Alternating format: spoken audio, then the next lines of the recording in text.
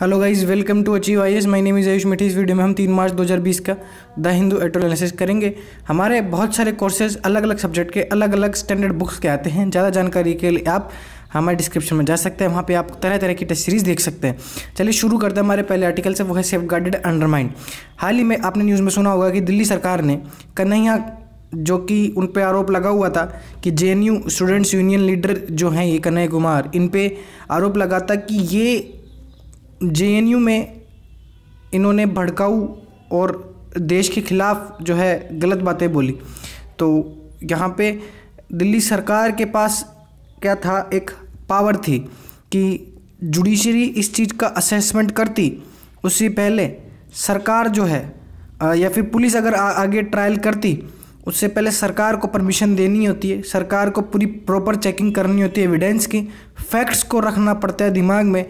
फिर जाके जो है केस बनता है।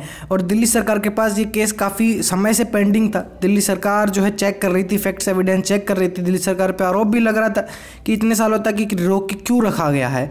और हाल ही में दिल्ली दंगों के बाद से दिल्ली सरकार ने अब मंजूरी दे दी है। प्रश्न यहाँ पे ये उठ रहा है, क्या दिल्ली सरकार ने फैक्ट्स और एविडेंस चेक किए थे?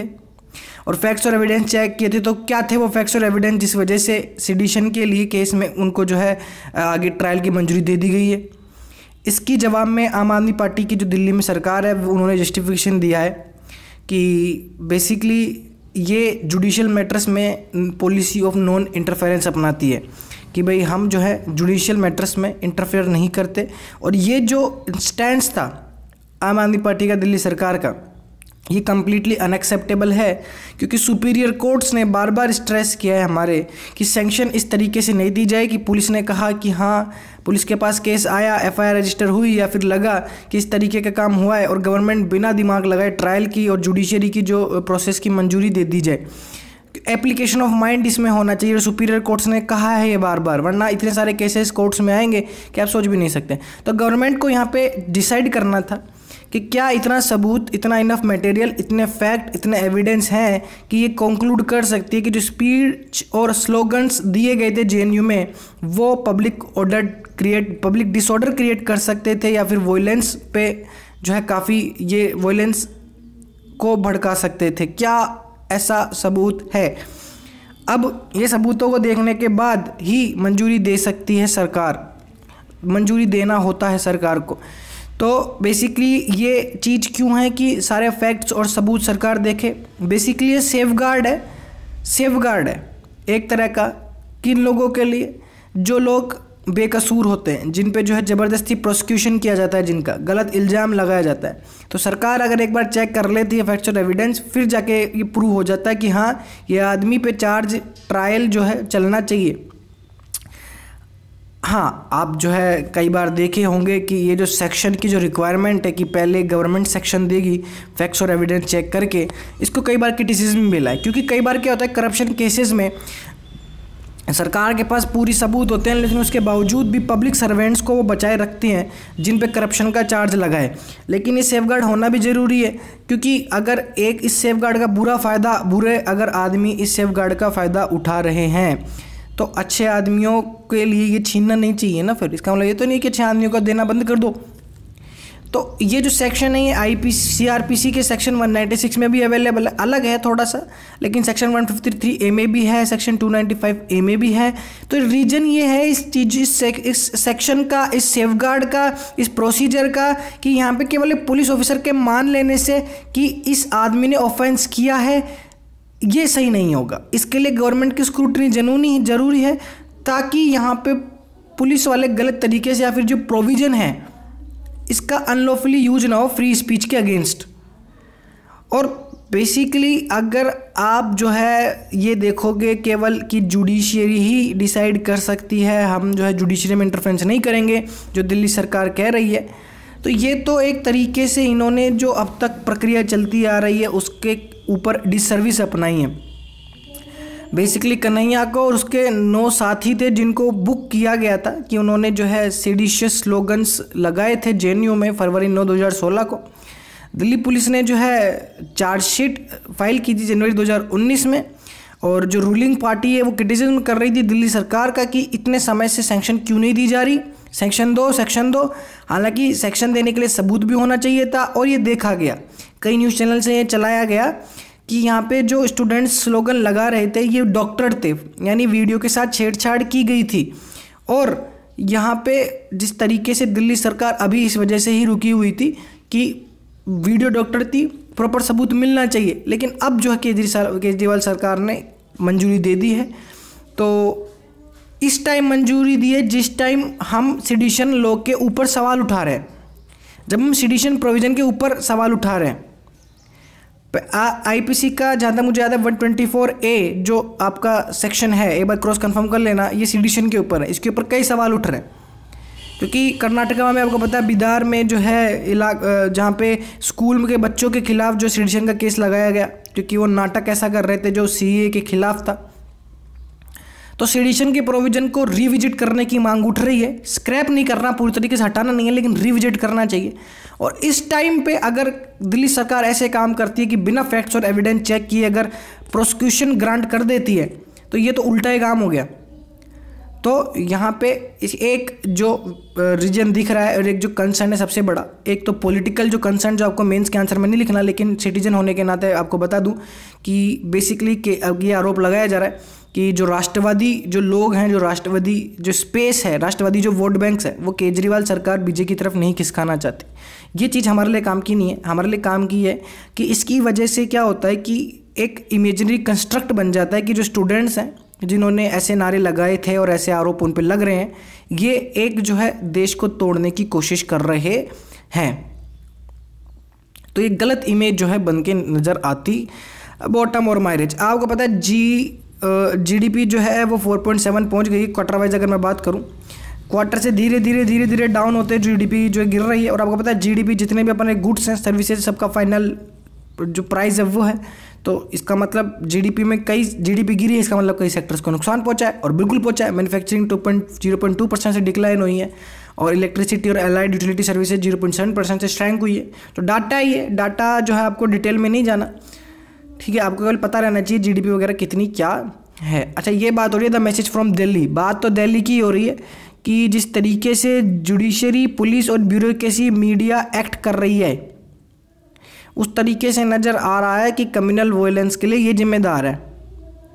अब ज़िम्मेदारी किसी की भी हो, लेकिन, गलती किसी की भी हो, लेकिन कोशिश ये की जाए कि कम्युनल हेट्रेड नहीं रहे। तो इस आर्टिकल में यही है कि कम्युनल हेट्रेड नहीं रहे कम्युनल हेट्रेड नहीं रहे। मैं आप सब लोगों से भी हाथ जोड़ के रिक्वेस्ट करता हूँ कि एंटी हिंदू एंटी मुस्लिम कोई भी मटेरियल कोई भी फेक वीडियो आपके पास आए प्लीज़ उसे बिना देखे, बिना चेक किए शेयर ना कीजिए। अभी दिल्ली में कल अफवाह फैल गई थी, इस चक्कर में कई जगह दंगे हुए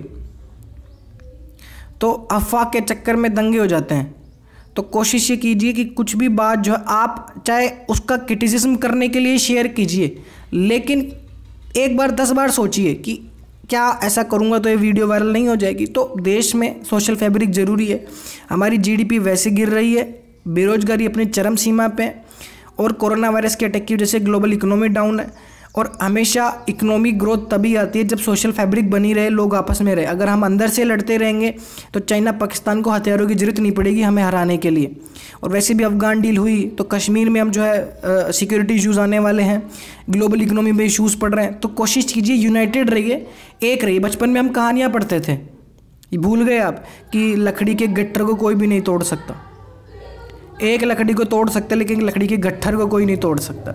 चाहिए कि ये कहानी इसलिए बचपन में सुनाई जाती है ताकि बचपन में आपके दिमाग में चीज़ फिट बैठ जाए और जो पॉलिटिकल लीडर्स हैं वो आपके दिमाग को जो है इस तरीके से हैक करते चले जाते हैं। तो उनकी बातें सुनने के बजाय अपने दिल की बात सुने, आसपास शांति बनाए रखें, पुलिस की मदद कीजिए जुडिशरी की मदद कीजिए और कानून कायदे लॉ एंड ऑर्डर बनाए रखें। पब्लिक ऑर्डर को डिस्टर्ब ना करें। Pushing the wrong energy buttons ये यूपीसी के लिए काफ़ी परफेक्ट आर्टिकल है। बेसिकली एक दशक हो गया। कोई भी मीटिंग भारत के राष्ट्रपति व भारत के प्रधानमंत्री और यूएस के राष्ट्रपति के बीच में ऐसी नहीं हुई, जिसमें इंडिया ने अपना जो प्रॉमिस दिया था 2008 में अमेरिका को, उसके न्यूक्लियर रिएक्टर्स खरीदने का, उसकी याद न दिलाता हूँ। हर मीटिंग में ये बात छिड़ी है और इस बार भी यूएस प्रेसिडेंट डोनाल्ड ट्रंप जब आए तो मोदी जी ने कहा कि आ, कि जिस तरीके से जॉइंट स्टेटमेंट निकल के आया बेसिकली जॉइंट स्टेटमेंट निकल के आया। मोदी जी ने निकल जॉइंट स्टेटमेंट निकल के आया कि prime minister Modi and president Trump encourage that nuclear power corporation of India limited जो हमारी एनपीसीआईएल है और जो Westing Westinghouse electric company है जो यूएसए की है दोनों ने six nuclear reactors in India को जल्दी जल्दी फाइनलाइज करने की कोशिश की। न्यूक्लियर रिएक्टर जिसमें न्यूक्लियर एनर्जी प्रोड्यूस होगी, इलेक्ट्रिसिटी में काम आएगा। अब प्रश्न उठ रहे हैं, रेड फ्लैग इस पर उठ रहे हैं। सीरियस कंसर्न्स है न्यूक्लियर रिएक्टर के कॉस्ट और सेफ्टी को लेकर। और इसको देखते हुए दोनों ऑर्गेनाइजेशन को ना केवल जो है फाइनलाइज बल्कि अबेंडन कर देना चाहिए था इस प्रपोजल को। ये क्लियर है कि जो इलेक्ट्रिसिटी हम अमेरिकन न्यूक्लियर रिएक्टर से अगर हम खरीदेंगे तो काफ़ी एक्सपेंसिव होंगे। तो अगर मेंस में क्वेश्चन आ जाए कि न्यूक्लियर रिएक्टर खरीदने से क्या क्या आउटकम होंगे, क्या डिसएडवांटेज हो जाएँगे तो पहले तो आप लिखोगे कि एक्सपेंसिव दूसरी बात सेफ्टी की दिक्कत। भाई 2011 में फुकुशिमा डिज़ास्टर था। बहुत खतरनाक सीरियस एक्सीडेंट था न्यूक्लियर रिएक्टर की वजह से। तो एक तो आपका एक्सपेंसिव दूसरा सेफ्टी और क्या बात हो रही है? और इसमें यह है कि बेसिकली क्या है कि जिस कंपनी से हम ले रहे हैं ना न्यूक्लियर रिएक्टर वो हमको गारंटी नहीं दे रही. देखो Washington Westinghouse has insisted on a prior assurance that India would not hold it responsible for the consequences of a nuclear disaster which is effectively an admission that it is unable to guarantee the safety of its reactors Washington ने कहा है कि India हमको पहले assurance दे। कल को कोई भी न्यूक्लियर डिजास्टर कॉन्सिक्वेंस होता है, कुछ भी अगर न्यूक्लियर डिजास्टर होता है हमारे न्यूक्लियर रिएक्टर की वजह से तो आप हमें जिम्मेदार नहीं ठहराओगे। क्योंकि हम, और ये चीज़ शो करती है कि ये गारंटी नहीं ले सकती अपने रिएक्टर्स की सेफ्टी की। तो जो कंपनी अपने रिएक्टर की सेफ्टी गारंटी नहीं ले रही, उस सेफ्टी के साथ हम कैसे डील करेंगे? तो पहला तो हो गया एक्सपेंसिव दूसरा हो गया आपका जो एक्सीडेंट्स वगैरह होते हैं, तीसरा हो गया इंडेमनिटी गारंटी क्लोज या आप कंपनसेशन का भी पॉइंट बना सकते हो इस पर यानी कंपनी गारंटी लेने को तैयार नहीं है जिससे हम खरीदना चाहते हैं, बताओ। तो इंडिया के जो मेन बेनिफिशरीज होंगे इंडिया अगर रिएक्टर्स इंपोर्ट करेगा तो वो केवल और केवल यूएसए यूएसए की कंपनी और दूसरा हमारा इंडिया का एटॉमिक एनर्जी एस्टेब्लिशमेंट हाँ इंडिया का जो एटॉमिक एनर्जी एस्टेब्लिशमेंट है, वो थोड़ा बहुत फ़ायदा तो करेगा ही। भाई, हम न्यूक्लियर रिएक्टर रह रहे हैं। एनर्जी आएगी एनर्जी की ज़रूरत है, देश आगे बढ़ेगा, फ़ायदा होगा। लेकिन आपको ये समझना पड़ेगा कि इंडिया के एटॉमिक एनर्जी एस्टेब्लिशमेंट की रिलेवेंस काफ़ी कम हो रही है, क्योंकि रिन्यूएबल बढ़ता जा रहा है सोलर एनर्जी वर्ल्ड एनर्जी ये बढ़ती जा रही हैं। रिन्यूएबल एनर्जी आती जा रही है तो एटॉमिक एनर्जी का उपयोग अब कम से कम हो रहा है क्योंकि महँगी भी है। मिस्टर ट्रंप जो है वो इस डील को पूरा करना चाहते हैं, उनका इलेक्शन आने वाला है। तो वो यूएस की मैन्युफैक्चरिंग का रिवाइवल दिखाना चाहते हैं कि देखो, हम जो है न्यूक्लियर रिएक्टर्स बेच रहे हैं, हम जो है मैन्युफैक्चरिंग हमारी इतनी मज़बूत हो गई है। ठीक है? तो बेसिकली यूएसए का फ़ायदा है इसमें कुछ भी नहीं है। तो हमारे मेंस के लिए पॉइंट्स क्या क्या हुए? तीन, एक तो एक्सपेंसिव सीरियस एक्सीडेंट्स और तीसरा जो है गारंटी गारंटी वाला जो क्लोज है। ओके ओके, और ये भी अपने काम का नहीं, ये अपने काम का है। देखो बेसिकली हमने जो है, अगर मैं कॉस्ट की बात करूँ कॉस्ट वाले पॉइंट जो पहला पॉइंट था, उसमें आप एक बात लिख सकते हैं कि अगर हम सिक्स रिएक्टर्स खरीदते हैं वेस्टिंग हाउस से तो छः लाख करोड़ रुपए की कॉस्ट आएगी। छः लाख करोड़। फॉर एग्ज़ाम्पल शायद हमारा बजट इस बार का इकतीस लाख करोड़ का था टोटल जितना मुझे याद है। अगर मैं गलत हूँ तो मुझे आप कमेंट सेक्शन में बता सकते हैं। छः लाख करोड़ के अगर हमें रिएक्टर खरीदेंगे तो इकोनॉमिक बर्डन किस पे जाएगा? यूएसए पे? नहीं। हमारे देश के कंज्यूमर्स पे, हमारे टैक्स पेयर्स पे। और हम अगर ख़रीद भी लेते हैं तो इससे बिजली पच्चीस रुपये पर यूनिट मिल रही है, जबकि सोलर एनर्जी से तीन रुपये पर यूनिट मिल रही है। और डी और मान लेते हैं, चलो न्यूक्लियर रिएक्टर में हमारे यहाँ पे मजदूर सस्ते मिल जाते हैं कंस्ट्रक्शन कॉस्ट काफ़ी कम है। तीस परसेंट भी अगर रिड्यूस करें तो ऐसे मान लो फिर भी जो है पच्चीस पर रुपये पर यूनिट की टैरिफ लग रही है। तो कॉस्ट, सेफ्टी और गारंटी दोनों में दिक्कत आ रही है। सोलर एनर्जी की कॉस्ट तो भैया पिछले दस सालों में सत्तर से नब्बे परसेंट तक डिक्लाइन हो गई और और आगे होएगी। बहुत सस्ती रिन्यूएबल एनर्जी बन रही है तो न्यूक्लियर एनर्जी पे टिकना गलत है। अब चौथा point long term cost long term cost क्या होती है भैया?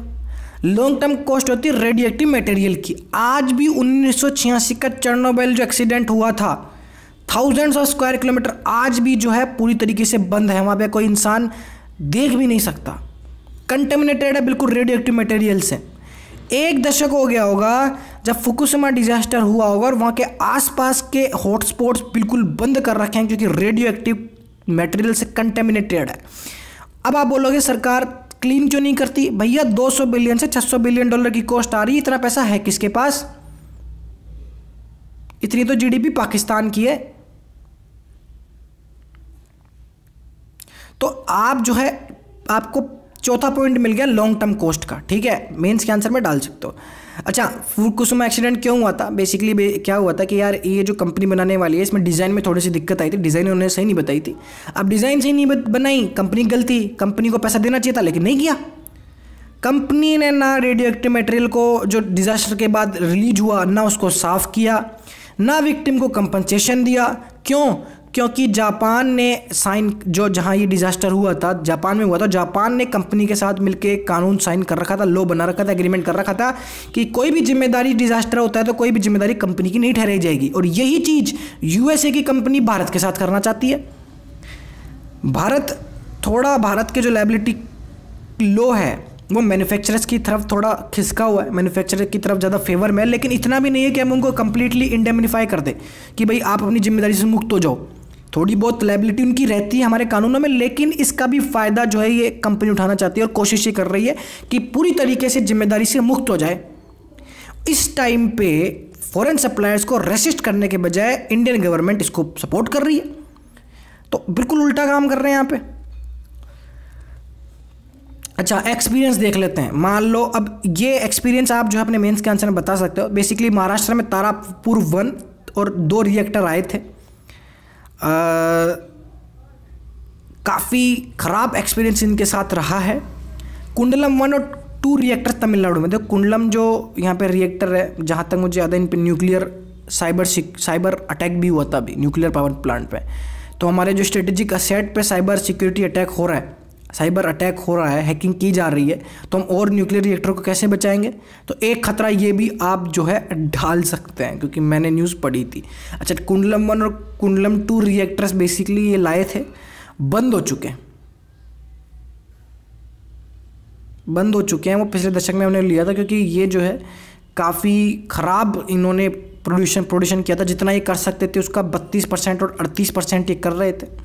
तो इंडिया का इतिहास ये कहता है कि न्यूक्लियर एस्टेब्लिशमेंट हम ढंग से नहीं कर सकते। तो पांचवा क्या है? पांचवा क्या पॉइंट है? इंडियाज पुअर न्यूक्लियर एस्टेब्लिशमेंट पांचवा पॉइंट आप मेंस के आंसर में डाल सकते हैं। तो पहला हो गया आपका एक्सपेंसिव दूसरा कॉस्ट तीसरा गारंटी चौथा लॉन्ग टर्म कॉस्ट पांचवा India's poor nuclear establishment total energy जितनी जनरेट होती है ना देश में, उसका केवल तीन परसेंट न्यूक्लियर पावर से आती है। और तीन परसेंट ही है, कभी बढ़ी नहीं। और बढ़ेगी भी क्यों? जब रिन्यूएबल एनर्जी आ रही है इतनी सस्ती। तो बेसिकली कंक्लूजन क्या लिखोगे मेंस में आपकी importing nuclear reactor is zombie idea मतलब इतना सही आइडिया ये नहीं है। रेशनल व्यू पॉइंट अगर आपसे देखोगे तो। और कई समय पहले ही इसको जो है, इस आइडिया को बंद कर देना चाहिए था। गुजरात में भी एक बार प्रोसेस की इंस्टॉल करने की कोशिश की गई थी न्यूक्लियर पावर प्लांट की, लेकिन गुजरात चीफ मिनिस्टर ने मना कर दिया 2018 में। कहा था कि इस आइडिया को कभी गुजरात में नहीं लाया जाएगा। तो प्राइम मिनिस्टर को यहाँ पे मोदी जी को खुद के राज्य से सीखना चाहिए और यहाँ पे पूरे देश के लिए सिमिलर अनाउंसमेंट करना चाहिए। अब देखो nuclear power plant uranium use करता है as a fuel nuclear reactor ये ध्यान रखना फ्यूजन टेक्नोलॉजी का इस्तेमाल करता है। फ्यूजन नहीं फ्यूजन फीजन टेक्नोलॉजी यूरेनियम ठीक है? याद रखना। Return to chaos in Afghanistan Afghanistan में वही बात हो रही है जो कल परसों हो रही थी। यूएसए का फ़ायदा हो रहा है। ट्रंप जाके अपने देश में कह देंगे, देखो भैया डील करके मैं आ गया, सैनिकों को वापस ले आया, मुझे वोट दो। तालिबान के साथ मैंने डील कर ली। तालिबान को मैंने कह दिया कि अलकायदा के साथ तुम नहीं जुड़ोगे, चलो मुझे वोट दो। ठीक है। तालिबान तालिबान का फ़ायदा, तालिबान यहाँ पे जैसे यूएसए के चौदह महीने में यूएसए के ट्रूप्स निकलेंगे बाहर, वैसे वैसे अपना कंट्रोल बढ़ाता जाएगा। अफ़गानिस्तान की सरकार की खुद की अपनी लड़ाके हैं, खुद ने अपने फोर्सेज हैं, खुद के अपने ट्रूप्स हैं। उनसे सामना करना पड़ेगा तालिबान को पावर कैप्चर करने के लिए। हालाँकि अफ़गानिस्तान सरकार के ट्रुप्स इतने प्रॉपरली ट्रेंड नहीं है तो तालिबान उनको आराम से हरा सकता है। तो तो अमेरिका के ट्रुप्स इस वजह से थोड़ा रुका हुआ था। तालिबान को फ़ायदा हो रहा है। नुकसान इंडिया को पता है आपको किस तरीके से होएगा। और बेसिकली कल मैंने आपको सोल्यूशन भी बता दिया था इस बारे में कि क्या क्या सोल्यूशन अगर आपने नहीं देखी होगी वीडियो तो वो देख लेना। ये दोहा डील इसको कही जा रही है। तो वही चीज़ें हैं जो हम अब तक सुनते आ रहे हैं। अच्छा the inaction tragic pattern of inaction police government और कोर्ट तीनों शांत, तीनों ने जो है कुछ भी कोशिश, बिल्कुल अब सफिशेंट कोशिश नहीं की क्रिमिनल वायलेंस रुके। मैं, आप आज का द हिंदू का फ्रंट पेज पढ़ो उसमें हमारे चीफ जस्टिस ऑफ़ इंडिया ने कहा है कि हम इतना प्रेशर नहीं झेल सकते। उनकी बात कुछ हद तक सही है, लेकिन उन्होंने ऐसे स्टेटमेंट दिए कि हम जो है प्रेशर नहीं झेल सकते और इतना हम कुछ भी नहीं कर सकते। हम ये नहीं कह रहे लोगों की जाने जाएँ, लेकिन फिर भी ऐसा कहा जा रहा है जैसे हम इन चीज़ों के लिए जिम्मेदार हैं। हम इतना प्रेशर नहीं हैंडल कर सकते। हम इसमें कुछ भी करने के काबिल नहीं हैं। फ्रंट पेज पे कही थी आज ये बात। पुलिस, सरकार और कोर्ट्स कम्युनल वोलेंस को नहीं रोक पा रही है। ये जो राइटर हैं, वे कांग्रेस के लीडर हैं, लेकिन उन्होंने अच्छी अच्छी बातें इस चीज़ में लिखी हैं। तो यूपीएससी के परस्पेक्टिव से वो चीज़ें हम एक बार ले लेते हैं। बेसिकली यहाँ पे आपका एक तो जुडिशरी का होगा। पुलिस की और जुडिशरी की बात होगी। देखो, पुलिस की क्या है? एक तो पुलिस में रिफॉर्म्स चाहिए। पुलिस का ऐसा लग रहा है कि या तो ये खुद जो है इंडिविजुअल रिस्पॉन्स था इनका, कि आप ढंग से एक्ट नहीं कर पाए, ढंग से रोक नहीं पाए, या फिर दूसरा ऊपर से ऑर्डर आए थे, कि आपको जो है इस तरीके से काम करना है वोलेंस नहीं रोकनी, जो भी हो। तो पुलिस की गलती। जुडिशरी की कहते हो जुडिशरी वाला पॉइंट इंपॉर्टेंट जुडिशरी बेसिकली क्या कर सकती है? कुछ लोग प्रश्न पूछ रहे थे, सर जुडिशरी इसमें क्या कर सकती है? तो जुडिशरी जो है बेसिकली सू मोटो केस ले सकती है। सुमोटो मतलब अपने आप। ऐसे कोई भी अगर इस तरह की घटना होती है तो जुडिशरी सू मोटोस केस को ले सकती है और यहाँ पे देख सकती है कि वोलेंस ढंग से निपटाई जाए। ढंग से निपटाया जाए, लेकिन जुडिशरी ने अलारसिटी से और सेंसिटिविटी से रिस्पॉन्ड नहीं किया जितना करना चाहिए था। इस एज में जहाँ पे सोशल मीडिया पे तरह तरह की इमेजेस तरह तरह की घटनाएँ सामने आ रही हैं फेक वीडियो शेयर हो रही है कोर्ट्स के पास, अब देखो, कोर्ट के, ऐसा नहीं है कि जजेस वगैरह के पास ये सब न्यूज़ जाती नहीं है। न्यूज़ हर कोई पढ़ता है तो कोर्ट्स को भी पता होगा देश में क्या चल रहा है। तो जब भड़काऊ भाषण दिए जा रहे थे, तब कोर्ट्स जो है इस मैटर को ले सकती थी और ओवरनाइट रिस्पॉन्स करके देख सकती थी वॉयलेंस ना हो इससे पुलिस की भी मदद हो जाती, पुलिस पे भी प्रेशर नहीं पड़ता और साथ ही साथ जो है जुडिशरी को भी एक इमेज बनती कि जस्टिस हुई है। मैं पढ़ता हूँ, मैं जब पढ़ रहा था तो मुझे कोर्ट जो है दिखाई दिया लॉ की बुक में जब पढ़ रहा था मैं, कि जुडिशरी न्याय करे जस्टिस करे केवल ये ज़रूरी नहीं है। ज़रूरी है कि लोगों के सामने एक इमेज भी पहुँचे, लोगों के सामने एक उदाहरण भी पहुँचे कि हाँ जुडिशरी ने न्याय किया है ताकि भरोसा जुडिशरी पे रहे। तो जिस तरीके की स्पीचेज स्पीचेज वायरल हो रहे थे सोशल मीडिया पे जजेस को फास्ट तरीके से कोर्ट्स को फास्ट तरीके से एक्ट करना चाहिए था। और जब एग्जीक्यूटिव यानी पुलिस वगैरह जब ये जानती हैं कि जुडिशरी बिल्कुल सिटीजन्स को प्रोटेक्ट करने के लिए रेडी है ह्यूमन राइट्स का वोल्यूशन नहीं सहेगी जी हमारे कोर्ट्स तो ये ऐसी चीज़ें होने से कई बार सोचती है वोलेंस नहीं होने देती। लेकिन जो जजेस इस चीज़ पे सुनने की कोशिश करते हैं, जैसे कि अभी बात हो रही है कि दिल्ली हाई कोर्ट के जज को ट्रांसफ़र कर दिया गया ओवरनाइट हालाँकि मैं आपको बता दूँ, जो जस्टिस मुरलीधर थे, जिनका ट्रांसफ़र हुआ ओवरनाइट वो पॉलिटिकल रीज़न की वजह से नहीं था। बारह फरवरी को ही इस बारे में बात हो गई थी। कि प्रेसिडेंट ऑफ़ इंडिया ने हमारे चीफ जस्टिस से कंसल्ट कर लिया था कि जजेस का ट्रांसफ़र होएगा और उनका ट्रांसफ़र होता क्योंकि प्रमोशन में उनका जाना होता ये तो चीज़ पहले से डिसाइड हुई थी, दिल्ली वोलेंसेस का कोई भी रिलेशन नहीं है। लेकिन लोग सवाल उठा रहे हैं कि जब डिसाइड पहले हो गया था तो केस के सुनवाई के दौरान ही क्यों उनको ट्रांसफ़र किया गया? पहले क्यों नहीं किया गया और बाद में क्यों नहीं किया गया? तो सवाल उठ रहे हैं। तो एक जो मेंस के लिए आप यहाँ पे ले सकते हो कोर्ट्स वो एक तो सुमोटा वाला ले सकते हो, दूसरा वाला ये ले सकते हो कि जब जुडिश जब जजेस बेसिकली जब एग्जीक्यूटिव अवेयर रहता है कि जुडिशरी जो अपने सिटीजन्स को प्रोटेक्ट करने के लिए रेडी है तो वो जो है पुलिस और एग्जीक्यूटिव कई कई चीज़ें गलत करने से पहले कई बार सोचती है। तो और ये जो कई बार जो है वीडियो आपने देखी होगी अभी दिल्ली वोलेंस में कि आ, कई कम्युनिटीज़ की वीडियो आ रही है कि हिंदू जो है वो मस्जिद को बचा रहे हैं और मुसलमान जो है मंदिर को बचा रहे हैं। ये दिखाता है कि कॉमन मैन जो है वो शांति चाहता है और देश में एक सोशल फैब्रिक बनी रहे। वो नहीं चाहता कि इसके खिलाफ़ कुछ भी काम हो। जिनके खिलाफ़ भी वॉयलेंस हुआ है, उनको ख्याल रखना चाहिए, उनका ख्याल रखना चाहिए। कल मैं एक वीडियो देख रहा था कि जो मस्जिद पे, जो मज़ार पे छड़ के जो झंडा लगाया गया था, एक हिंदू ने ही आके झंडा उतारा। और उसके जो है काफ़ी आसपास के लोग तारीफ़ कर रहे थे। तो मैं आप सब लोगों से यही जो है रिक्वेस्ट करता हूँ, मैं किसी भी कम्युनिटी का साइड नहीं ले रहा। रिलीजियस प्लेसेस का ख्याल रखें, एक दूसरे के साथ बनाए रखें। भारत को बहुत आगे जाना है। भारत को नई बुलंदियाँ छूनी है। भारत को कई मुश्किलों से जो है जूझना है। क्लाइमेट चेंज टेररिज्म हमको साथ रहना पड़ेगा। साथ रह के ही सब कुछ हो सकता है। ये मेरी आपसे एक रिक्वेस्ट है।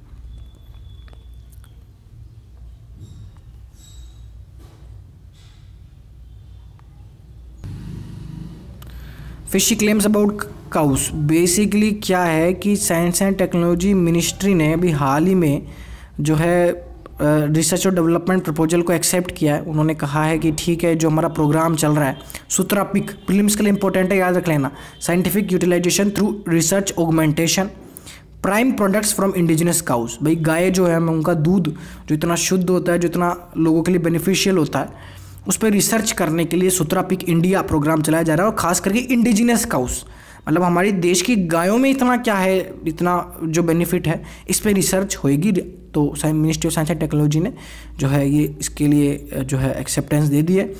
बेसिकली कहा जा रहा है कि इंडियन काउज में जो है यूनिक क्वालिटीज़ है करेक्टरिस्टिक्स हैं तो इसके लिए करेंगे। तो क्या काउज वास्तव में इंडिजिनस काउज यूनिक है? हमारी जो देश की जो गायें हैं, जो यहाँ हमारी जो ब्रिड है, वो क्या इतनी यूनिक है? देखो, बात यह है कि हो भी सकती है, नहीं भी हो सकती। कई तरह की जो है होती है काउंस और कई तरह की ह्यूमन पॉपुलेशन है। जैसे हमारे नॉर्दर्न और वेस्टर्न जो एरिया में लोग रहते हैं, जैसे राजस्थान, बिहार, पंजाब के गाय का दूध पचा लेते हैं, लेकिन साउदर्न लोग नहीं पचा पाते डाइजेस्ट नहीं कर पाते। तो डोमेस्टिक एनिमल्स का अपना एक बेनिफिट है, अपना जो है एक ज़रिया है। बेसिकली इस आर्टिकल में बात क्या हो रही है, अगर क्वेश्चन आ जाए, कि किस तरीके से जो है ये साइंस एंड टेक्नोलॉजी मिनिस्ट्री के जो क्लेम है कि आयुर्वेद से इतना ज़्यादा जो फ़ायदा हो रहा है, भाई गाऊ से और जो गायों के जो यहाँ पे जो यूराइन है, इनसे भी फ़ायदा बताया जा रहा है, क्या वास्तव में इतना फ़ायदा होता है? तो आप इसमें कुछ पॉइंट्स लिख सकते हैं कि जैसे ही आपका एक तो आपका सबसे अच्छा पॉइंट ये होगा कि काऊ का एक्सकरेट आ और यूराइन को ग्लोरीफाई करने के बजाय कि भाई ये जो काफ़ी शुद्ध है, काफ़ी शुद्ध है, मिनिस्ट्री ऑफ़ आयुष को एक बार सीरियस रिव्यू करना चाहिए अपने आयुर्वेदिक टेक्स्ट का। और साइंटिफिक स्क्रूटनी करनी चाहिए, क्योंकि कई जो कॉन्सेप्ट हैं, कई झूठे साबित हो जाते हैं और कई जो कॉन्सेप्ट हैं वो सच साबित हो जाते हैं।